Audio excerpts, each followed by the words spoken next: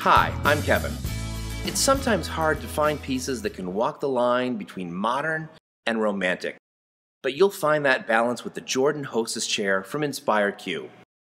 The sloped arms and soft wings make this chair a sculptural piece without getting fussy.